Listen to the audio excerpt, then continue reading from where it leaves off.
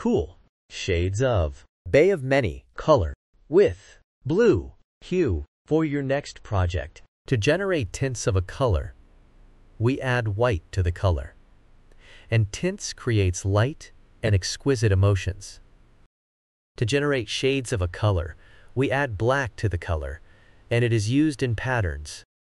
3D effects, layers and shades create depth and drama.